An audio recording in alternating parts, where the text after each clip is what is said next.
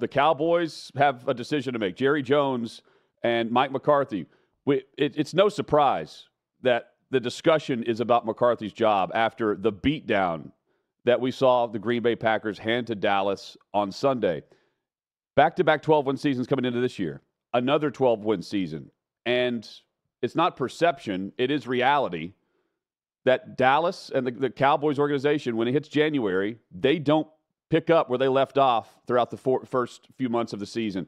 They were dominant throughout the year. Their offense scored. They win at home.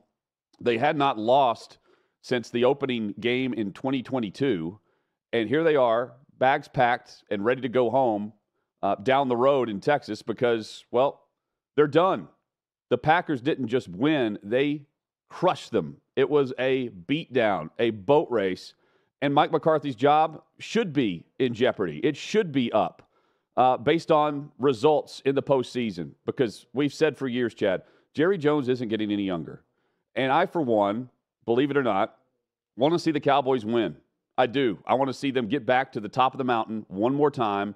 Jerry Jones has, uh, what he's meant to the league, uh, what we've uh, come to know him as, as one of the owners, and the whole story behind America's team. I do want to see them see them uh, reach that threshold. It's not going to be with McCarthy. Greg uh, Greg Olsen said on the broadcast yesterday, and I, by the way, I like the I like the broadcast with what they do. Him and Burkhardt really do.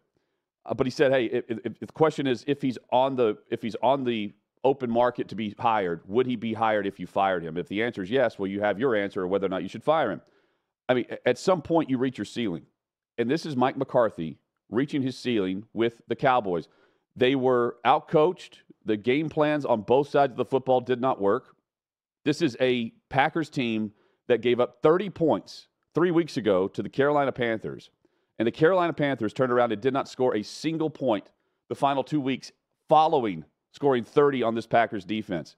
And the Cowboys didn't come out and play like we just saw the Detroit Lions do at home on Sunday night.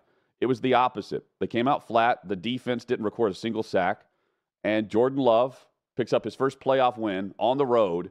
Looks like CJ Stroud going against the Cleveland Browns defense. And, well, here we are, sitting here talking about the Cowboys not in the postseason anymore and it's par for the course. I think McCarthy is going to be looking for another gig. I do, especially with Bill Belichick and Mike Vrabel available. Crazy to think that, and I, I, agree with you, by the way, Hutton. I think this is it for Mike McCarthy in Dallas. Crazy to think about a guy, though, that's won 12 plus games in three straight seasons, and he's going to be looking for a job. But hey, this is life in, in big business, and it's definitely the life in Big D. And when Jerry Jones and Stephen Jones get that roster to a point where they expect not just making the playoffs or just winning the division or any of that or the number two seed in the NFC. They expect to win in the playoffs. Just making it is not enough, right? Once they get to that point, you've got to deliver. And I don't know what's going on here. I'm not ready to put all the blame on Mike McCarthy for that game uh, no. against the Packers. That was a just a thorough embarrassment and a thorough beatdown from the Packers. They could have picked and told what they were going to do to the Cowboys in any play and done it. Aaron Jones dominated.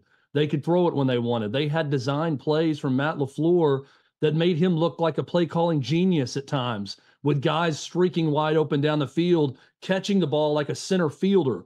They're so open with no Cowboys defenders around. It, it was an embarrassment. Everyone needs to wear it, everyone needs to face it. But something is off with that team, either feeling the pressure coming out unprepared. CeeDee Lamb and Dak Prescott. I'm not saying that they don't like each other or that there's big time chemistry issues, but it does not take a genius in football arithmetic to watch that performance in the playoffs on the biggest stage and not say what is obvious. There is something off. And what is the easiest thing to do to recalibrate and to try to fix it if you're Jerry Jones? It's not getting rid of the quarterback that's got 59 million plus against the cap next year. It's not retooling your defense or retooling your receiving corps. The roster's in place. The easiest thing to do for Jerry and Stephen Jones right now is to get rid of the coach. I don't know if that's the right decision or not, but Hutton, I agree with you that it is going to be the decision, I believe, because it's the one thing that he can control to try to upset the apple cart and get some sort of a different result come playoff time. Well, we've seen it three years in a row now. It's a pattern. And I do think there's some pressure just putting on that uniform, putting on that jersey and the helmet. I do. Uh, they haven't been to a conference championship game since 95. The Packers are 6 and 0 at AT&T Stadium. They have more playoff wins in that stadium than the Cowboys do. Put that into perspective. The, the Packers picked up their third playoff win in the stadium, including the Super Bowl win, Aaron Rodgers' lone Super Bowl, and the Cowboys have two. Prescott is not a big game quarterback. He's just not. You mentioned the, the connection with CeeDee Lamb. They had that throughout the season. But midway through the season, CeeDee Lamb was demanding the football, and he got the damn ball, as he put it. And he put up numbers. He said he was the best receiver in the league. He looked like it for a stretch. Not yesterday. They were not in sync. Aaron Jones, you, uh, good shout out there because he had not been consistent at all. Injuries hurt that consistency issue, but just not good during the regular season. He's back. He dominates the Cowboys. He now has nine touchdowns in five games against the Cowboys, I believe is the number I saw. Uh, just dominant. Uh, four games, actually, against the Cowboys. That's got to change, especially with that defense and the way it was playing throughout the year. It was them and Cleveland, and both of those defenses went down against quarterback play that stepped up when it needed to step up for their offense. And credit to Jordan Love and credit to CJ Stroud. Yeah, where was Micah Parsons in that defense? That was that was so disappointing uh, to watch that effort from them. Um, yeah, it's again, it's it's so difficult though because it would be easy if they went out there and they were terrible this year and they didn't make the playoffs. Well, then it's an easy call. Right. Get rid of Mike McCarthy and try to do something different. But to me, it makes it so much harder because they were successful. They did win the division. They did get the number two seed. It was set up for them to beat the number seven seed. Oh, by the way, first ever win for a seven seed in NFL playoffs. But get through that round, and then it was set up perfectly for them to possibly make some hay and and, and reach the Super Bowl. And instead, you, you have that performance where 48 to 32 uh, honestly was deceiving. It was much worse than that in the game. That was only because of a late Cowboys run. Was it even that close? And it, it just leaves me feeling like something needs to be done. And the easiest thing to do to change things and to change the dynamic drastically is to fire the coach. So that's what I expect them to do. Well, is the drastic change to go to Bill Belichick, 71 year old Bill Belichick, who would come in for 81 year old Jerry Jones to go win a Super Bowl. The, the discussion behind the scenes for a, a, a, recent history has been that Jerry Jones and Bill Belichick have, have grown to become friends over the recent years. If that's true, he's available, and you've got a coach who has won championships, and Jerry wants one more. He's got to get it. And Belichick could do that as long as he's got the structure in place. And by the way, Jerry would be the general manager. He's not giving that up. And he's put together a talented roster. The question I would have is how many coaches right now would want to go coach Dak Prescott? It's, it, it's not a, a, an easy decision. I think I know the answer. The answer is yes, based on the quarterbacks across the league. But also, I mean, is this the end of the road for him based on what we've seen? And, and by the way, loved his answer when asked about McCarthy. That is that is as definitive of having your coaches back and wanting him back as a quarterback could be. Putting himself out there too, saying, "Hey, I, I'm on the hot seat too." Then, and no, it shouldn't be an issue. But in thinking about the options, Prescott will get you there to the postseason. But in the moment, is he going to win four games for you? Is he going to help you win and step up and make that play? And yesterday it was over before the game even really started. I don't know how anyone could say yes to that question, Hutton. I, don't know how anyone with a straight face can say, yes, Dak Prescott is going to be that quarterback that wins you the requisite amount of games to win a Super Bowl because he just hasn't proven that so far. Dak Prescott's a very talented quarterback. He's had a great statistical season. He's a good NFL quarterback. He lacks it. I've felt this way about Dak Prescott since his second or third year in the league, where he was shot out of a cannon uh, when he first started with the Cowboys. Where I mean, it's clear, you know, not a first round guy, but uh, over delivered for that Cowboys organization. He lacks it. Whatever that unidentifiable, you can't quite de- define what it is. He doesn't have it for that Cowboys team. Now, would Bill Belichick want to work with Dak Prescott? I think Bill Belichick wants to coach football. And I see Dallas now as one of the best available jobs if it comes open. when we start to go down the list, if we're ranking situations in the NFL of open jobs, it's right up there. It's right up there with, let's say, the Chargers. Why is the Chargers up there? Because Justin Herbert. Now, where are you putting Dak Prescott with Justin Herbert? Uh, obviously behind him. Justin Herbert hasn't shown he can do anything, even getting to the playoffs. Right. He's had one playoff win also. So I think any big name coach that takes either one of those jobs, you're going into that job with a big question mark at quarterback when it comes to mm-hmm. performance in prime time. And I'm not talking about Sunday night football on NBC prime time. I'm talking playoffs. I'm talking getting to the to the tournament and performing in that tournament. And, and that's something that we just have not seen from Dak Prescott, who inflated his numbers yesterday late in the game. But as he said, had a terrible game. And I agree with you, Hutton. I love the the self awareness mm. of Dak Prescott to say if he's on the hot seat, I'm on the hot seat because I was awful in that game. We were awful. That that was trash. I respect a guy who will at least admit that and not duck and cover and act like the reality isn't reality. Dallas was on the short list of teams that would be interested or could be interested in trading for Belichick when all the stuff was going down in November. Uh, keep this in mind too. Stephen Jones loves Mike Vrabel, loves the dude. Vrabel's also available. So the question would be: Are you, in essence, trading Mike McCarthy in the final year of his contract next year for Belichick or for Vrabel? And what's different about the Cowboys? to what we've seen with uh, other, uh, for instance, Herbert. The difference is the defense. Chargers defense has been awful. And now you would pick up with Dallas's defense, and you're picking up a franchise that has won 12 games, three seasons in a row. They're the first team, though, to not make a conference championship game in NFL history after winning three straight seasons of, of 12 victories. Uh, craziness. There's I believe either one of those guys that you just brought up, either Belichick or Vrabel, is an upgrade in Dallas as a head yeah. coach. I, I really do. Here's my one question, though, if I'm Jerry Jones to both those guys. I have one question Who is your offensive coordinator? And if I don't like that answer, I'm not hiring those guys. That is the most important part to me of Vrabel and now Belichick moving forward. Who are they going to pair with them, themselves as offensive coordinator on that staff? Because that is a spot that Mike Vrabel did not get right well, after Arthur Smith left for the Falcons? Is it Arthur Smith? Right, it is. I think that you're bringing there? I think they both have easy answers. I think they go back to what they know and who they had when they were good at offense. Uh, Arthur Smith and Josh McDaniels. Like that's yeah. who that's who I would bring. I would run it back, and you drop the coaches in, the roster's there, and you're off and running. I mean, I, I, that's how I would roll with it. And I mean, they tried to do it this year by switching offensive coordinators in Dallas. Kellen Moore was out, and Mike McCarthy was calling plays for a bit uh, and then took back over, and then what, whatever uh, the hesitation was, uh, they weren't good at certain spots. And, and, look, Dak is good in the regular season, but you've got to get over that hump, and whatever whatever that is. And it even didn't work in at home, where he has been dominant. The team has been dominant, winning by 20 plus points. Not happening in, in the postseason, no matter where they are.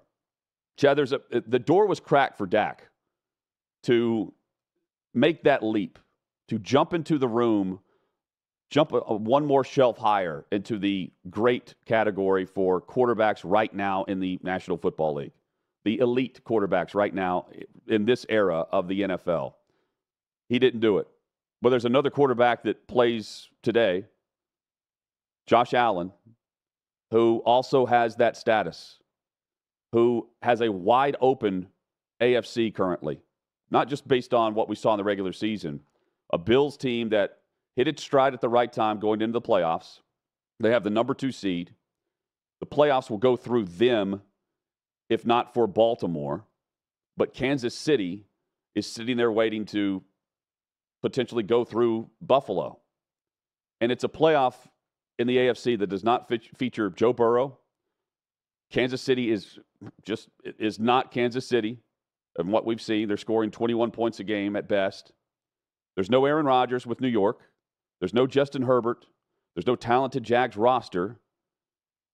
They would have to go through a rookie led Houston Texans team and then go beat the Ravens in Baltimore by not turning the football over, by being the good version of Josh Allen. This is his opportunity to become one of, one of the perceived great quarterbacks in the NFL because after that playoff loss where he didn't get the football in overtime and they changed the rules based on that game. I uh, and, and the way they followed up the next season where they were they became America's team. Everyone thought Buffalo was was the team primed to go to the Super Bowl and win it. That didn't happen. And then they took a, a step back in the perception of okay, which teams are we following? Miami kind of took their spot. Miami's also fool's gold. I don't think Buffalo is. I think they're built to win in the postseason. They're running the football extremely well. Their defense has improved. Josh Allen needs to be able to play quality quarterback. Can he do it? Because if he does, he's right back up there, and he's more or less, he's not Mahomes, but he's right there. With no Burrow, he takes over that spot and solidifies it. It's time to go take it. There's that classic Seinfeld episode where George Costanza declares everything the summer of George, that it was the summer of George, right? Yeah. Well, this was the autumn of CJ Stroud. This was the autumn of Lamar Jackson in the AFC. It was not the autumn of Patrick Mahomes. Can it be the winter of Josh Allen or the winter of Mahomes? Is now the time for those guys to step up? Or are we going to continue seeing more of the storyline of what we saw throughout the fall? Because uh, step one complete for CJ Stroud. He was incredible in that playoff win for the Browns. He, he looks great, and he looks like a force to be reckoned with yeah. in the AFC for years to come. Be super impressed with him. But Hutton, you nailed it. CJ Stroud, with all of his greatness, he's not making the play we saw Josh Allen make to close out the Dolphins and win the AFC East. When he gets loose on a rollout and he's pinned up against the sideline and he runs for 12 to 15 yards and he bulls over a linebacker in the process and gets that play. He has the ability to make plays on his own. I dare say, even more than Patrick Mahomes that we've seen this year. He's got that within him.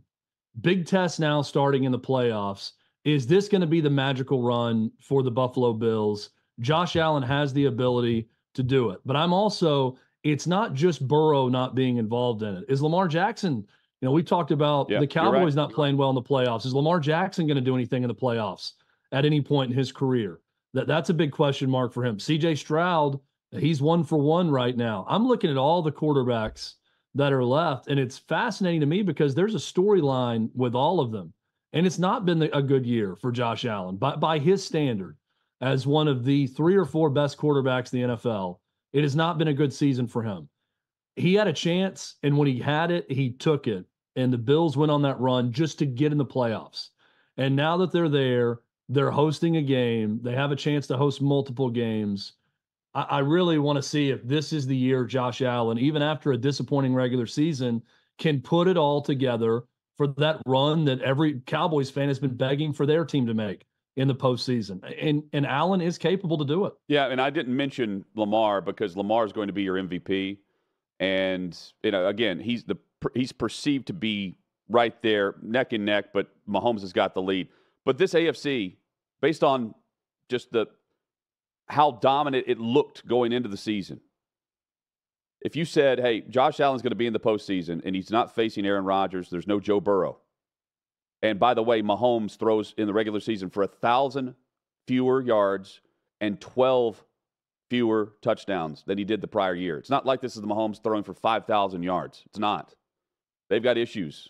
Now they can win, but they've got issues and you're not going to Arrowhead. That's the other thing.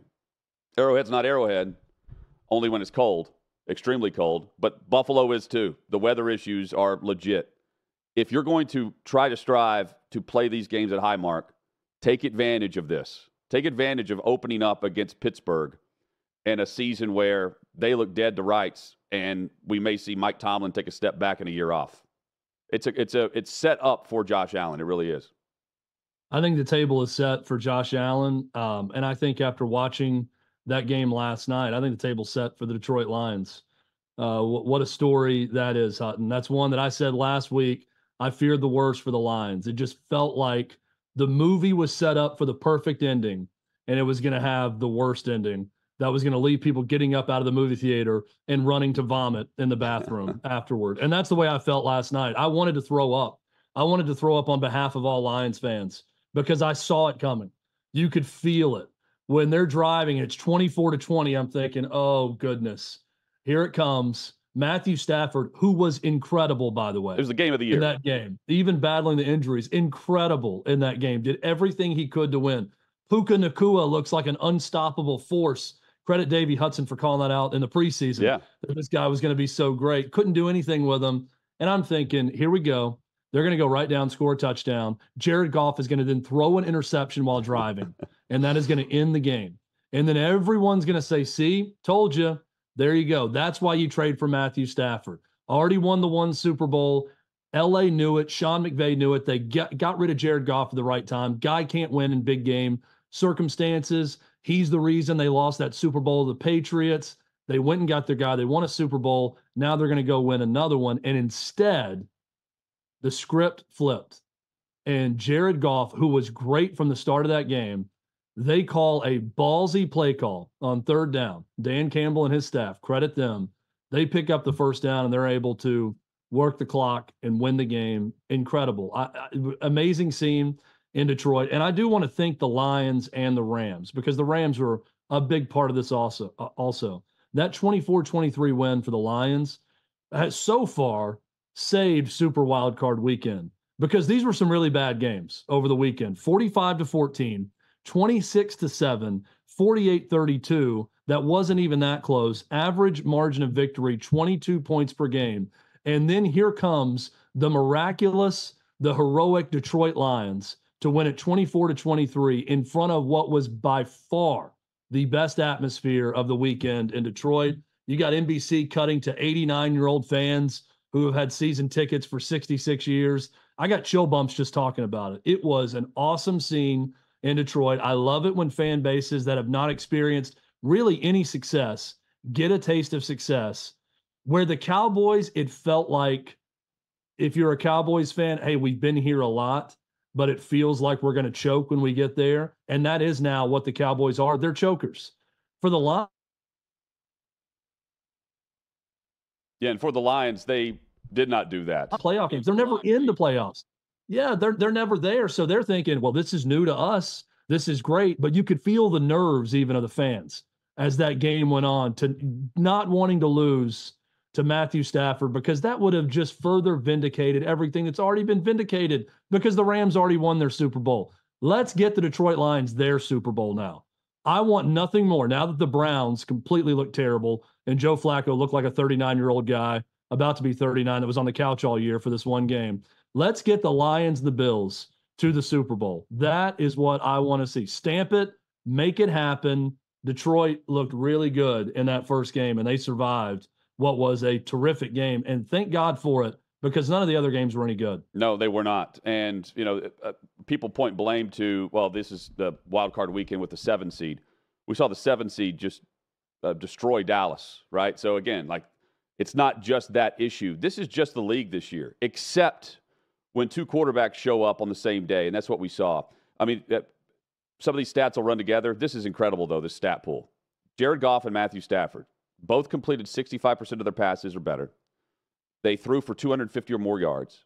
They averaged 10 or more yards per attempt in the game and did not turn the football over. That has never happened with two quarterbacks in the same game in the NFL. That's regular season or postseason. That is that they, they've been tracking this since 1950. That's crazy. you could tell right away. I mean, there were just some throws being made on that first drive from yeah. Jared Goff, where he is just ripping the ball into tight windows. Uh, how well, many times did Matthew Stafford throw a sidearm no look pass to someone in that game and make it look easy? I, I was blown away by the high level quarterback play. That is what I want to see in the regular season, which we didn't get to see enough of this year. I hope that's a preview now of what's to come with the rest of the NFL playoffs because that was that was just fun to watch. I mean that that game it was awesome. Uh, th- that's the best way I can articulate it. It was awesome to watch on both sides throughout. The atmosphere that came with it, everything was incredibly cool. And I'm so happy that the Lions found a way uh, in that game to get it done. And pretty cool seeing the emotion of those Lions fans when they finally got that win. Yeah, I feel I feel great for them. Yeah, and it, you mentioned the start to the game for Goff compare that to Dak Prescott. Like that's the difference right there. The the Cowboys start versus the Lions start at home where all eyes are on you to go win the game. And what an atmosphere at Ford Field. Um, we get we need to mention Kansas City, but from the flip side, Miami was dead on arrival. I was not expecting them to show up that cold, that frozen. But I mean, if we're going to talk about the Cowboys, let's talk about Miami. They they are the regular season version of Dallas, just turned down a notch. They put up a bunch of points. They're an offense that scored 70 this season. But they go in the cold, and it was cold. And we see Kansas City stick to what they know. And meanwhile, all we all I could see from Miami was Mike, McDan- Mike McDaniel frozen on the sideline and Tua doing absolutely nothing in that game. Well, I thought that last touchdown for the Chiefs that really blew it open by Clyde Edwards Helaire kind of summed up the game. If you just want to play one play and show what that game looked like, watch Jalen Ramsey try to thud it up on Clyde Edwards Helaire and, and have no interest in tackling on that play as he just walks into the end zone where the Dolphins were defeated. And to me, they were defeated long before that. They had no interest in hitting in that game, they had no interest in tackling. That was not a really good offensive effort from the no. Chiefs, even. It was more about the Dolphins being bad. And the game leaves me with one question, Hutton, and I'm going to pose it to you first. Is Tua any good? Because uh, that's where the Dolphins are right now. I, I don't know. He's good. If you would ask me this question in mid-October, if, if the I'd very different answer. If the outside factors, right, the the weather, uh, Tyreek Hill's playing, and he's the if everyone around him is there, they show up, and the conditions are right. He's good. He's really good. Some of the throws we've seen him make this season and last season before he had the concussion are incredible, but he's not consistent. And uh, uh, they, there's a lot of things that have to go right in a game for Tua to be right in a game. And I, I think that's what it comes down to. And the decision now comes to the contract. It's a lot like Justin Fields, just uh, a, a tougher decision, a much tougher decision. Yeah, and uh, the question I have, look, I think Tua he, clearly statistically he's been good at times with the Dolphins. The secondary question of that is, would any NFL quarterback that's decent look good with that supporting cast and that speed the way Tua does? Yeah. Is he being elevated by everyone else? Right. That that's the big question. It's kind of the same thing with Kirk Cousins right? J- Justin Jefferson was the one guy in the league that got all the credit for any Kirk Cousins success. Are we giving Tua on the flip side of that too much credit simply because he has a great supporting cast, a good offensive system with Mike McDaniel, and he's getting all the shine off of that yeah. where he's really not deserving of it? And there's 17 quarterbacks in the NFL that could do even better than Tua Tagovailoa does in Miami. I, am left asking that question. I, I, don't know, but I'm asking that question throughout the game on Saturday night because I, look, I, I predicted it. By the way, Kelly in Vegas should have taken my bet on that when I pitched it. Yeah, you're right. Tua wanted nothing to do with that weather. I, I knew it going into it, and he was awful. And I, I just watch it. And I, we saw too much of that late in the season that I could put squarely on Tua and not on Mike McDaniel, not on the receivers, not on the Dolphins team. That he's got to clean up if they're ever going to reach their level of what they could reach, which is uh, we you said it. They scored 70 at one point this season. It's a team talent wise that could win a Super Bowl if they can put it together at quarterback. That certainly was not the case on Saturday night. And then, regardless of conditions, Kansas City is going to score about 21 to 23 points. Uh, that's yep. that's all you got to. Uh, regardless of the outside factors, divisional weekend sets up. and It is traditionally the best weekend that the NFL has to offer. And on Saturday, Houston is going to either go to Baltimore or they're going to take on Kansas City at Arrowhead. That will be followed by Green Bay winning at Dallas going to San Francisco and Brock Purdy, who is uh, the other version of the Lamar Jackson factor, uh, the guy that can take over and make a run to a Super Bowl. Sunday's matchups Detroit back at home, and they'll kick off against either Tampa Bay, if Tampa Bay wins over Philadelphia, or the Eagles. They'll advance and take on Detroit in what's going to be a fun matchup, regardless. And I love that for Detroit. They're, I'm looking at that. They cannot look ahead. The fans want to start dreaming now. That's a great matchup for the Lions. And then Sunday's nightcap on CBS, follow uh, NBC, then CBS. You've got Kansas City and uh, Pittsburgh, and they will be headed to either Buffalo or Baltimore. So if Kansas City uh, wins, or excuse me, if, if Pittsburgh wins, They're headed to Baltimore. Kansas City headed to Buffalo. Hutton, I keep thinking about this scenario in the NFC. Philly wins tonight, yep. and then now they're going to Detroit. Right? Yes, that, that's yes. what feels to me right and like what we're going to see next weekend.